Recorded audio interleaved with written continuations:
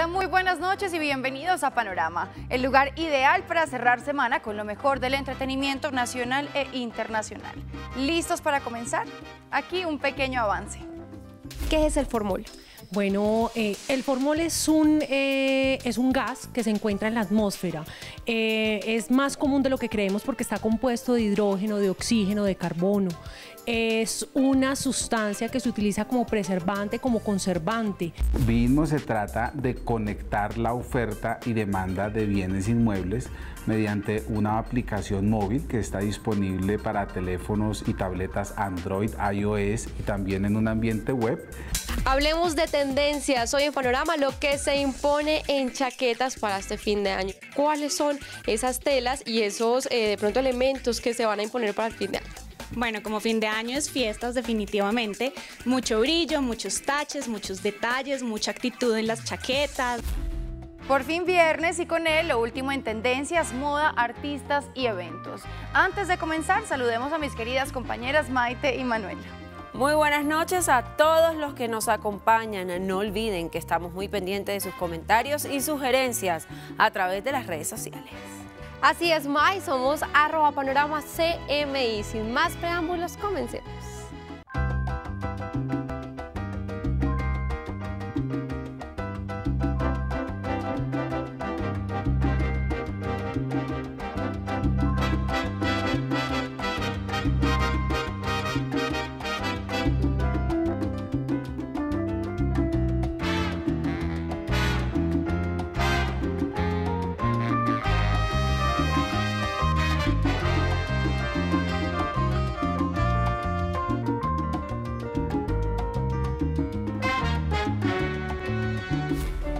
Las empresas más importantes del sector lanzarán propuestas innovadoras en la primera feria de tecnología de consumo en el país. 3.000 metros cuadrados llenos de experiencias sensoriales, espectáculo, tecnología y emprendimiento para un evento único en Colombia. Como si se tratara de un viaje al futuro, llega a Colombia el mayor espacio pensando únicamente en clave tecnológica. CityTech, la primera feria en la que el protagonista es la tecnología de consumo y en donde las principales empresas del sector mostrarán novedades de cara al 2016. En su primera edición que se llevará a cabo los días 6, 7 y 8 de noviembre en el Country Club de Barranquilla, CityTech espera recibir 15.000 visitantes. 3.000 metros cuadrados para la imaginación de los expositores de las mejores empresas de tecnología. Carros con pilas combustibles de hidrógeno, videojuegos, comunicación mediante hologramas, celulares flexibles y mucho más tendrá cabida en este encuentro que será el primero en Colombia especializado en tecnología de consumo. Leche, cereal, fruta, arepa y jugo es un desayuno saludable. ¿Sabe usted cuántos carbohidratos ingiere al día en sus comidas y lo que esto representa en el cuerpo? Pues ese es el tema de la siguiente nota y para ello entrevisté al nutriólogo colombiano Benjamín Ramírez, quien recientemente se ganó el premio al logro médico por mejorar la calidad de vida de los seres humanos. ¿Por qué las personas engordan mientras están haciendo dieta en vez de adelgazar? Precisamente de este tema vamos a hablar hoy con el nutriólogo Benjamín Ramírez. Bienvenido a Panorama. Cuéntanos por qué sucede esto. Bueno, básicamente es porque el colombiano promedio, digamos que se somete a muchos tratamientos que usualmente no son los más plausibles para la pérdida de peso. Entonces, necesariamente las personas suben de peso en Colombia porque no saben mezclar sus alimentos y más particularmente porque se mezclan muchos carbohidratos en el transcurso del día. Ok, empecemos por el desayuno. Normalmente la gente come cereal, huevo, arepa, pan, café, bueno, de todo.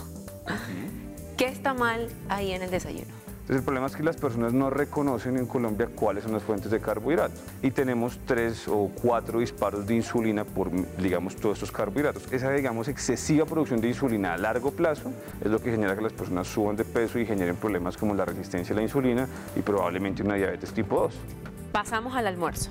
Fíjate, por ejemplo, el plátano efectivamente es un carbohidrato, el arroz es un carbohidrato, la zanahoria es un carbohidrato, o sea, ya llevamos ahí tres. Ahora contemos los que están dentro de la, sopa, una papa, eh, más zanahoria, ya llevamos como seis carbohidratos y rematamos con el líquido lleno de dulce. Y pasamos a la comida. Normalmente la gente dice, como algo ligero. Una granola por lo menos tiene cebada, esta que estamos utilizando acá tiene cebada, tiene maíz, tiene harina, digamos, de trigo, tiene aparte de eso, digamos, uvas pasas, o sea, ya llevamos solamente como mal contados cuatro carbohidratos. Ahora suma la leche, cinco carbohidratos. Es decir, en conclusión, la gente debería escoger solo un carbohidrato en cada comida evitar obviamente el cereal tanto en la mañana como en la noche. La idea no es quitar los carbohidratos porque no es rentable para el cuerpo eliminarlos y de hecho no se debe hacer porque está totalmente contraindicado, sino que se deben organizar en el transcurso del día de una manera adecuada para que hormonalmente el cuerpo funcione como debe funcionar. Y a propósito de este tema, pues hoy viernes les pregunté a los transeúntes de la capital qué es lo que normalmente comen en el desayuno. ¿Cereal, huevos con arepa, pan, solo jugo o café? Aquí las respuestas. Jugo de naranja y una arepa, usualmente. ¿Arepa con queso o arepa sola? Sola. Huevos con tostadas.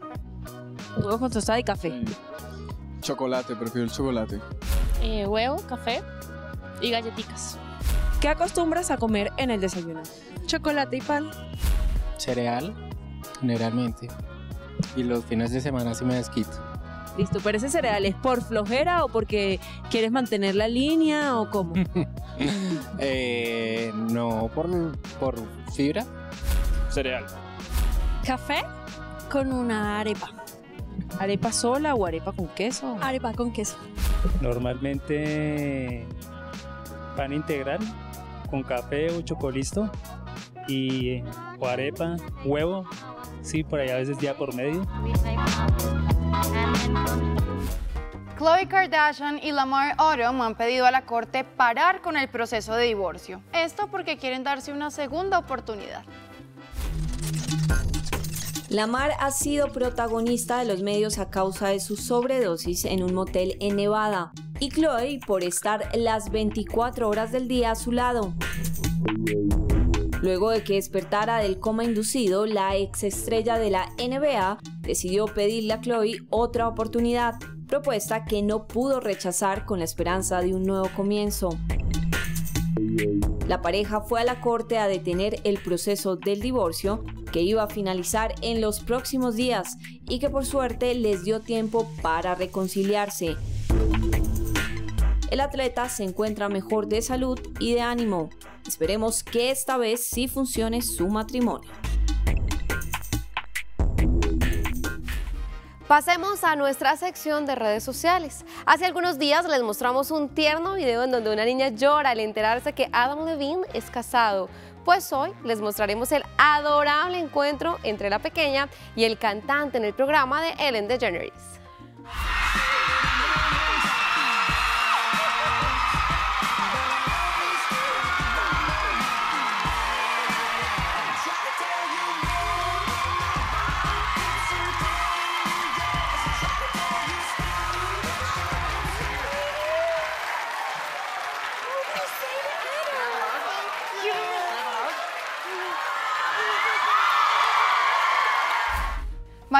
Celebrará el Día de los Muertos o como se le conoce coloquialmente, Halloween.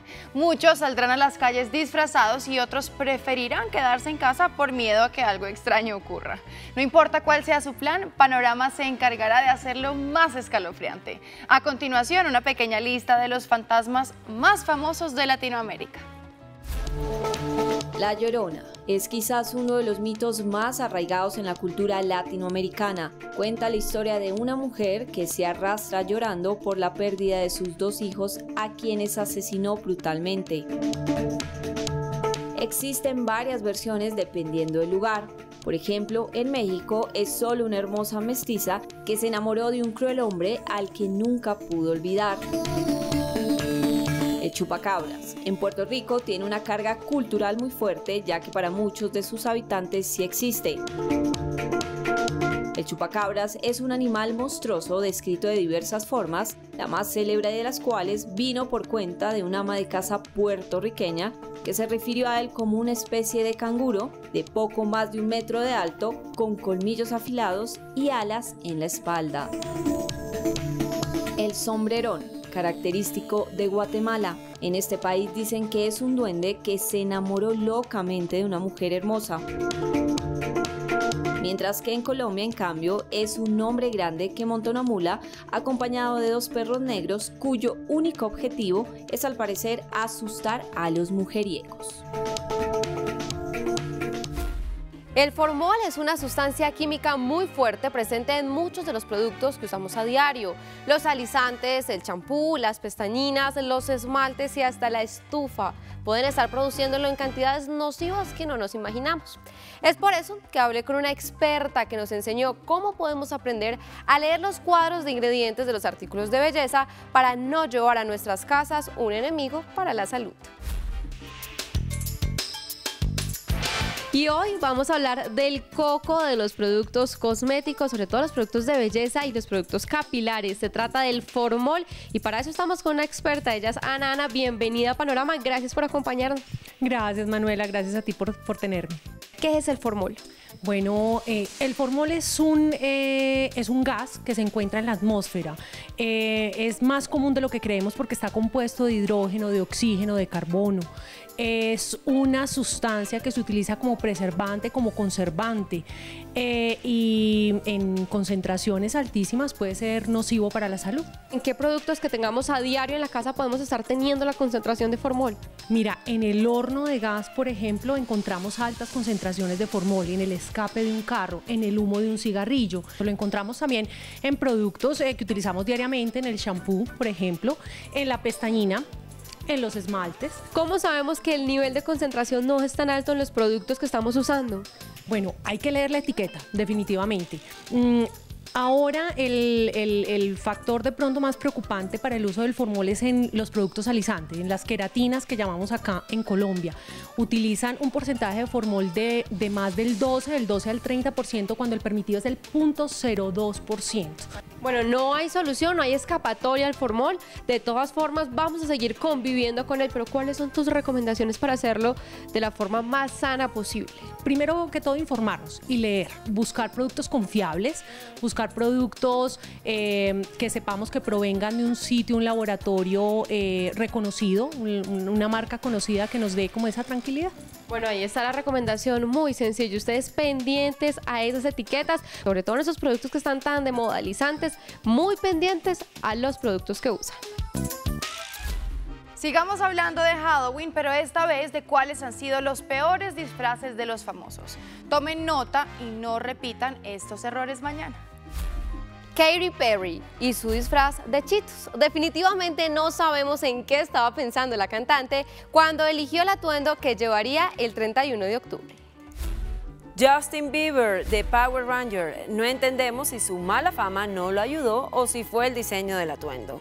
Lo cierto es que el artista convirtió un disfraz que pudo ser un éxito en un completo desastre.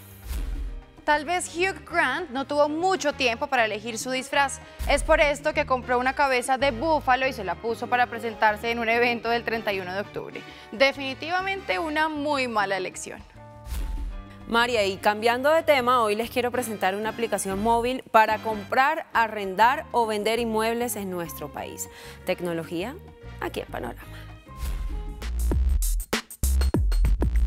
BINMO se trata de conectar la oferta y demanda de bienes inmuebles mediante una aplicación móvil que está disponible para teléfonos y tabletas Android, iOS y también en un ambiente web que permita eh, geolocalizar los inmuebles y encontrar la vivienda ideal. El uso de la aplicación es muy simple y muy rápido. Solamente abro la aplicación e inmediatamente identifica en qué lugar estoy ubicado, me geolocaliza y me muestra las viviendas y los locales que están disponibles para venta o arriendo en, e, en, ese entorno. Si quiero puedo filtrar por precio, por área, por habitaciones y si no quiero buscar por el lugar de geolocalización, puedo buscar una ciudad específica o un departamento o un barrio en particular. La diferencia básica de Vinmo es que Vinmo nace en una era digital y nace enmarcado dentro de la movilidad. Es una plataforma construida exclusivamente para ambientes móviles que son los, eh, que son los dispositivos que ahora eh, llaman la atención y la parada, no solamente en esta industria, sino a nivel en, en otros sectores de la economía. Vidmo tiene una plataforma analítica y estadística que nos permite ver cuántos inmuebles se han publicado en determinada fecha, en determinado barrio. El 67% de las personas que buscan en la plataforma eh, tienen entre 18 y 30 años, o sea, los denominados o la generación millennials. Fue apodado la mano de Dios, el 10 y el pibe de oro. ¿Ya saben de quién les hablo? Así es, de la leyenda futbolística Diego Maradona, quien hoy cumple 55 años y por supuesto aquí en Panorama lo celebramos. Futbolista argentino que nació un día como hoy en 1961. Si bien su genialidad fue reconocida por millones de espectadores que fueron testigos de su habilidad y destreza con el balón, siendo comparado constantemente con el mismo Pelé. Sus problemas personales, sus adicciones a las drogas y su incontrolable carácter mancharon su carrera de muchos problemas. Tras ganar en 1979 el Campeonato Mundial Juvenil con la selección de su país y triunfar dos años después en el Boca Juniors, inició un periodo europeo que lo llevó al Barcelona en 1982. Allí empezó una exitosa carrera en el equipo de Argentina y terminó en el de Sevilla. En el 2008 fue nombrado director técnico de la selección argentina de fútbol y su gestión, como había de esperarse, fue muy criticada. La longevidad parece no ser solo un tema de hábitos saludables. Al parecer el género tiene mucho que ver.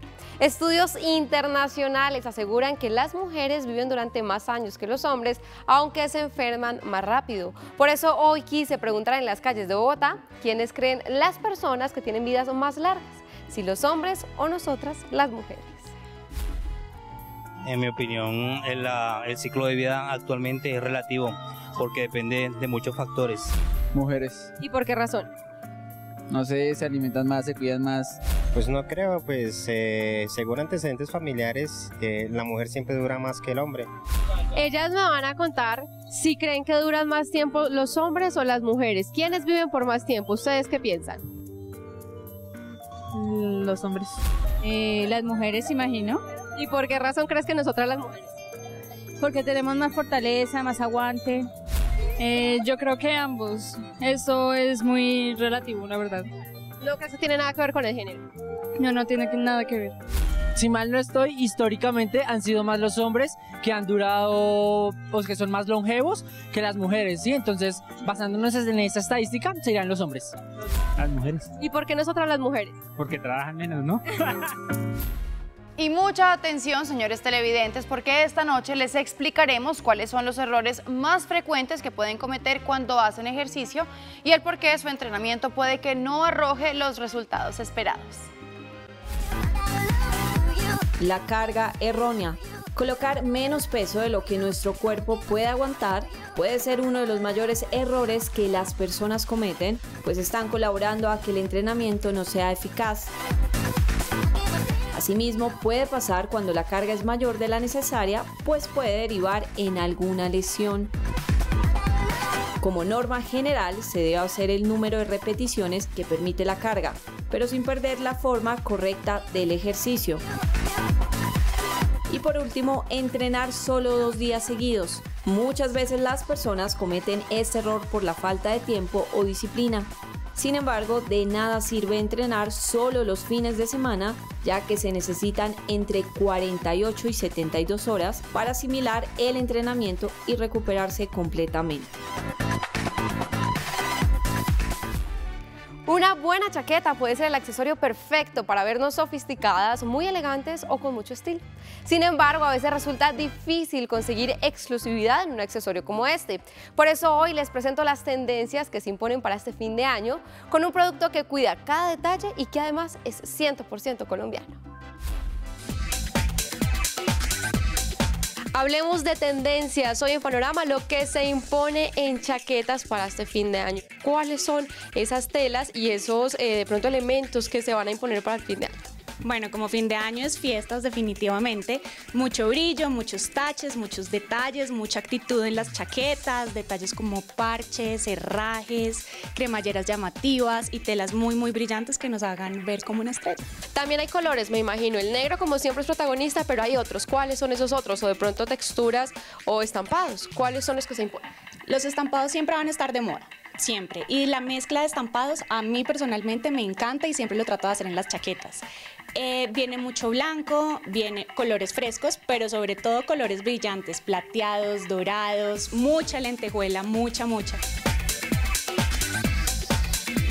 ¿Cuáles son esas recomendaciones que hay que seguir al pie de la letra a la hora de comprar una chaqueta? Bueno, a la hora de comprar chaquetas sí toca estar súper pendiente porque la chaqueta es la que te arma toda la pinta. Tú te puedes poner lo que sea, te pones una chaqueta y te armó la pinta. Te tiene que quedar bien, tiene que ser tu talla. Yo siempre he dicho, arreglar una chaqueta es arreglar la prenda es súper complicado, es volver a transformar, es volverla a hacer literalmente. Los blazers, por favor, que sean largos. A mí el blazer cortico no, no voy con el blazer cortico. Eh, siempre usar las abiertas y remangadas que te hacen ver más larga y estilizada. En Colombia tenemos un talento impresionante, una mano de obra increíble, materiales de la mejor calidad. Entonces los invito a que compren colombiano, apoyen el talento colombiano y pues somos colombianos, entre todos crecemos y a comprar colombiano. Y esto es lo que tienen preparado hoy Julieta Piñeres y Yamita Mat en 8.30. Hoy en 8.30. El acueducto complementario busca resolver necesidades de agua potable en Ibagué. Conozca sus dificultades y avances. El hijo del viento, Carl Lewis, el británico que hizo historia en el mundo del atletismo. La Plicla Mensajería, una nueva alternativa domiciliaria para Bogotá. Música, arte y más, esta noche, en 8.30. Lastimosamente por hoy se nos acabó el tiempo. Gracias por acompañarnos y que tengan un feliz fin de semana, que se disfracen, que reciban dulces, que pasen muy rico. Así es, Manu. Nosotros nos vemos la próxima semana con más noticias del entretenimiento nacional e internacional. Hoy terminamos con buena música y además con estreno, María, de una agrupación que regresa. A terciopelados, así es. Pues vuelve y más talentoso que nunca. Con su nuevo video Luz Azul junto a Macaco nos despedimos, pero los esperamos la próxima semana con la mejor información del entretenimiento nacional e internacional. Feliz noche. Besos a todos. Chao. Chao.